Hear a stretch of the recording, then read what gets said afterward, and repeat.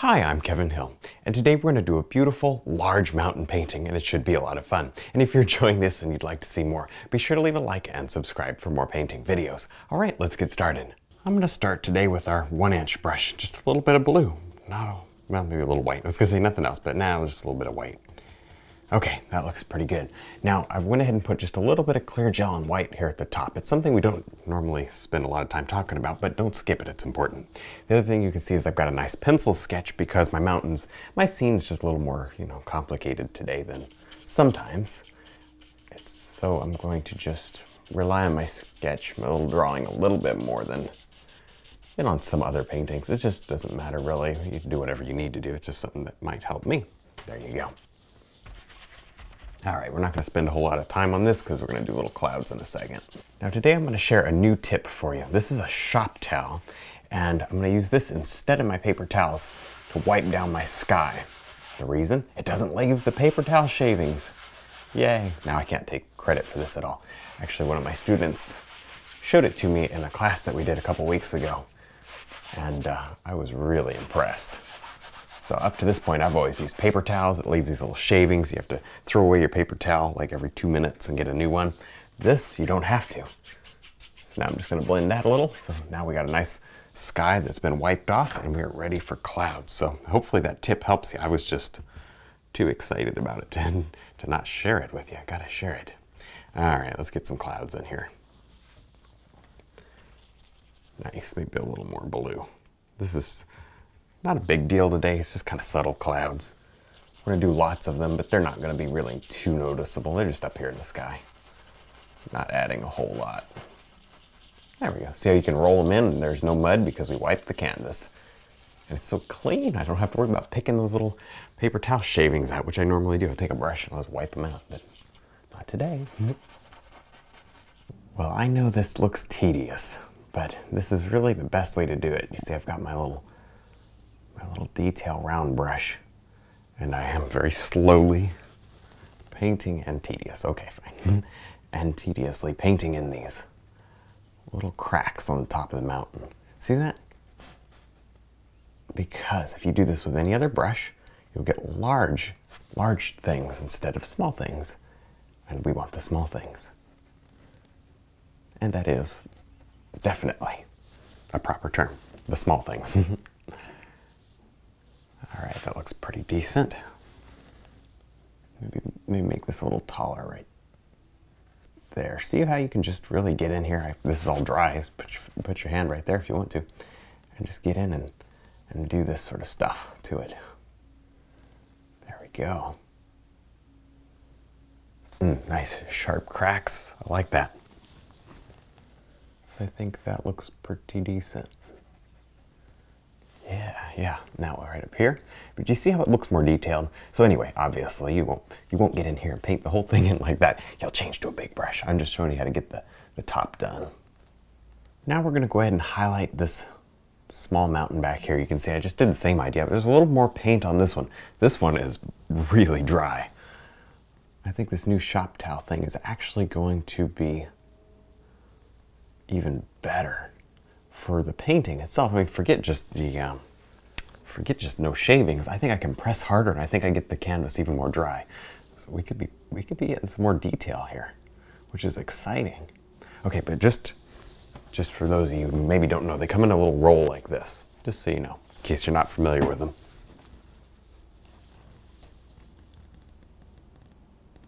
There, and I think you just get them at the hardware store. Cool. Okay, so anyway, enough about that. Let's go ahead and keep just working on this little mountain. I've got my detail round. I'm going to use it both straight in and flat to create some nice some nice variation between different strokes. I like that now. Ah, I don't know, that's a little that's a little straight for me. Maybe over here, let's go this way. Just for some variety. There we go. Nice. Not all of it is going to be snow, just only, only a bit. Cool. And then of course you got this big blank area. The worst thing you could do is get up here and just, you know, drag all the way down with this color. Instead, what you want to do is you want to get up in here and paint these little areas within the mountain. See that? That will make it look further away. That's important, don't skip that. Now I've changed to a filbert brush because I'm gonna paint some more trees. And I've got really the same color, it's a little darker. And let me see here. Kind of just do a, a, bit of a line. I like to just start like that and then, I mean, there's a zillion ways to paint these, as you know. I'm probably gonna do uh, fairly rugged evergreen trees because this is obviously high elevation. And generally things tend to get kind of rugged at high elevations. So anyway, there you go. My brush is well used. Don't throw away your well used brushes because sometimes they work even better. And this is one of those cases. See that? That kind of makes it look a little more rugged. Sweet. Now we can make this even more interesting with the detail brush. But for now, we're just kind of getting everything going with the filbert brush. It works out pretty good. There, I like that. Maybe skip a spot. Ooh, right there. Skip a spot. Yeah. just build in lots of trees. This whole area is going to be filled with trees. We're going to kind of have them drop down and then we'll, we'll pick it up. I don't even know what I'm saying. We'll pick it up down here with our rocks. There's going to be a lot of rocks today, so hope you're excited to see some rocks. now I'm just continuing to paint in our rocks up here, and although it's a little more tedious, I'm doing it with a, continuing to do it with a filbert brush. There, and honestly, I think that just a couple extra minutes here will really pay off big time in just a, another couple minutes. there you go. That looks pretty decent. See how I'm leaving it kind of rough? I like these brush marks and brush strokes. That's good. Makes it look like a detailed rock without even doing anything yet. See how you can also change the color a lot. That's super important. Good, okay. And I decided to leave this just the way it was. I, I, after everything's in it, I kind of like it. Or everything's in around it, I mean. I like it, so we're gonna leave it. There you go. All right, maybe a little darker over here, I don't know. Add a little dark to this, straighten up this edge. I kind of made that too blurry. There we go. Now we're gonna go ahead and brush in just a little bit of blue sky. I know, kind of did it out of order. Oops. oh well. See, the, the proper art way would have been to go ahead and do this first, then paint your rocks around it. But you know what? It doesn't make a bit of difference, does it? Okay, it makes a small difference, but we'll just have to repair the top of the rocks, which is really no big deal to me. I think that's fine. Cool, there we go. Maybe just make it, I'm just trying to match the sky. I guess I don't want to make it, the sky's not all that dark, so we shouldn't really make it much darker than that. Okay, now the other thing, we're gonna go ahead and take some of this rock tone and pull this down because there's gonna be a lot of this reflected in the water. I like that. Good, a little more white. Kind of show you my palette. I'm just getting some mud at this point. Just pick up some mud and throw it in the water. Nice. It might end up looking like a reflection of the rock or even the grass or whatever else we end up putting in, you know, on top of this. I just don't know yet because it's not there and things are always subject to change. So I'm just kind of, I'm guessing and we'll see how accurate my guess turns out. We can always, always add more to the reflection. Water is one of the easiest things to paint, at least while it's wet. if you were to do this, you know, in acrylics, maybe it's a little trickier. It just depends. Certain things are easier in oil, certain things are easier in acrylics. That's a hard question to answer when it, people ask me which one is better, you know, for a, a new painter. Oh, not, not an easy question to answer. Now let's go ahead and just drop on a little highlight to these trees in the background. I've got a pretty old detail round brush. And this one's mm, pretty much worn out. I've used it quite a long time. And I've done a little bit of scrubbing with it, which doesn't exactly help it to last a long time. Anyway, rather than throwing it away, I'm going to use it to create a nice little texture back here. See that? I can just touch it. It's a very soft brush, even though it's kind of doesn't come to a point real good. Very soft brush. So it's, I just, I don't know. To me, it's just important to not get rid of your old brushes until you're sure they're really bad. And even then, I don't know maybe it's worth hanging on to them as long as you got the room to do it, you know. Yeah, it looks good. See how we're just developing a little bit of light in the background? We can change our color I might just go with a little bit of, I don't know, just a little bit more green and white versus, you know, the green, yellow, and white. Just to get more of a cool note happening back here. There, if you have any trouble making this stick on without, in, you know, without becoming muddy, just take a towel and wipe it off. And the problem will be solved. it's that easy. Let's see what we can do about maybe just getting yeah, an extra ridge line here. That's, that's interesting. We want to do a lot of interesting things. Now I'm kind of just standing around here picking out these little boulders. It's, I don't know, it's taken the past maybe five or six minutes just to throw in some detail here. Maybe a touch longer, but not much. There, I'm not really rushing it. You can see kind of working in little patches moving forward from the background to the foreground. It works out pretty good, doesn't it? Nice, see that? Just deliberate, quick brush strokes. Some of them are, you know, some of them are just one brush stroke and you're done. And some of them I kind of go back and I add some extra stuff too. But see how that begins to look like little rocks? There's not a great shortcut for this other than just painting them in, you know, sort of quickly one by one. You don't have to stand here and, you know, get frustrated painting all day just on these little rocks. That's not necessary. So just kind of, like I said, be deliberate with your brush strokes. Put them where it counts, one or two brush strokes and get right back. Go somewhere else, like that. See that? You invest a few minutes and it'll look like you put in hours, but not really. You really didn't, and people will think you did, and it's going to be cool. I love it when we can do stuff like that. All right, let me see a little bit. I've got my blues here as well a little bit of just up in here. Lots and lots of rocks today. See that? The more paint you put on, the harder it's going to be to highlight. So be pretty careful. Don't want to don't want to have an issue.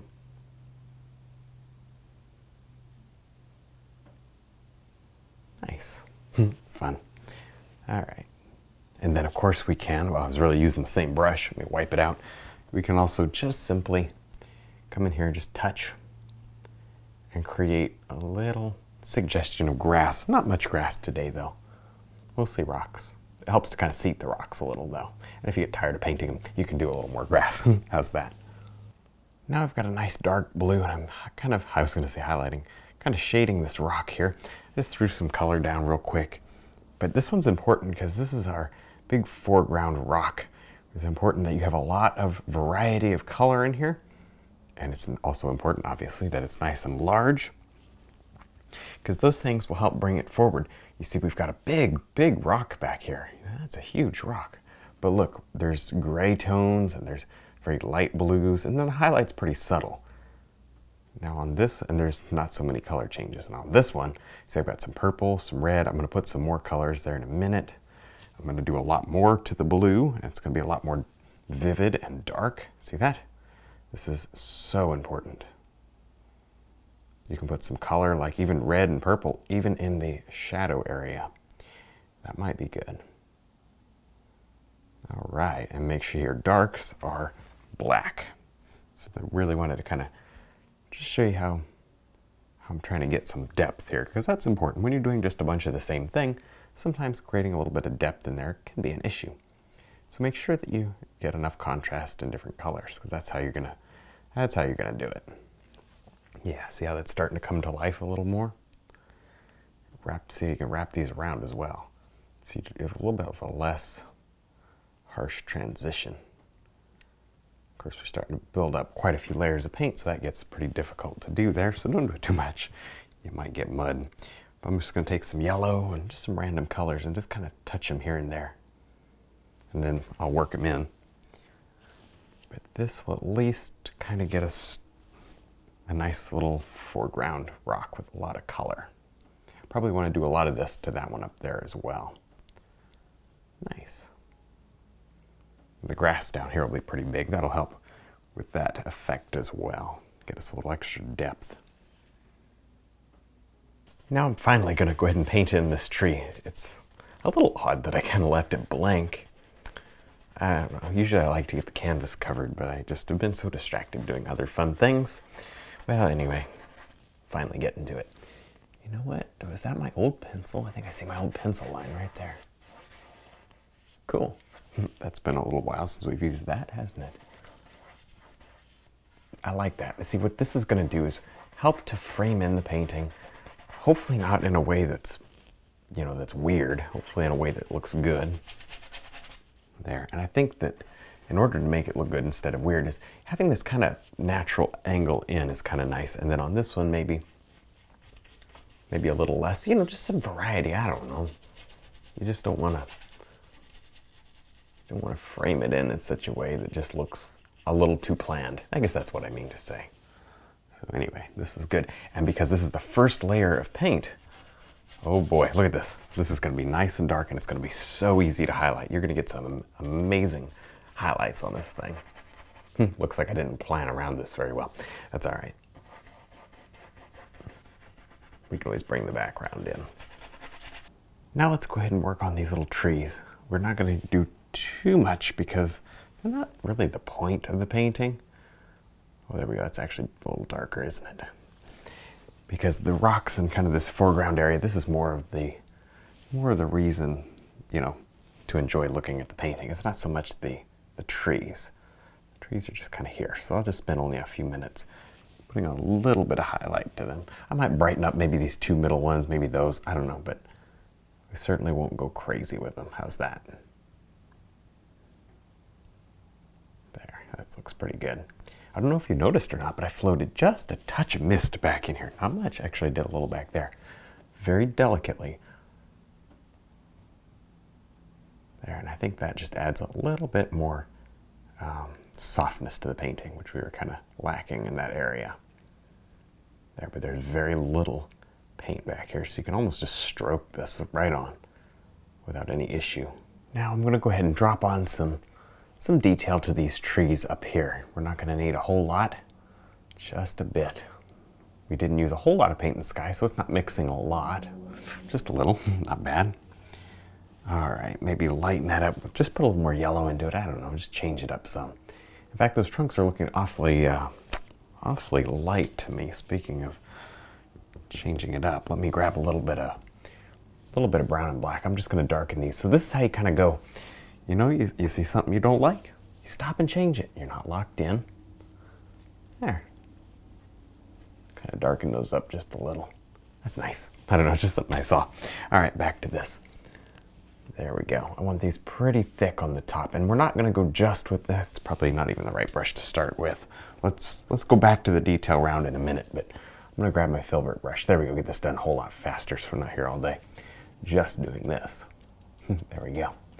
Yeah, and then I'll of course add the detail round brush back over this to create two different textures in the tree. Very, very important. All right, this is an evergreen tree, so it does need to be bigger at the bottom, probably. Oop, crossed right over that mountain. Overlap, that's a good thing. Now, one of the last things that we're going to do to this painting is add in a lot of grass and detail. This is one of those paintings that really could benefit from it. Lots of detail and kind of get an idea of how bright we need to go with, you know, maybe if we need to touch in an accent ah, highlight or two. I mean, this tree's still unfinished. I got to just give a couple more minutes of work on that one. But just wanted to get the grass in, just to give me a little, a little break from doing that sort of stuff. It also just helps me to kind of feel out how much further we need to go. It looks good though, doesn't it? I like that. We can add limbs and stuff, which always look nice. We'll do that. Maybe with just a light, mm, maybe not light, but mid-tone brown would be perfect. Let's do that. Just get a, a nice little brown color. And then maybe especially up in here. Don't get too much of this thin paint up here because then that would make highlighting almost impossible. But just here and there, drop a few branches in. Oh yeah.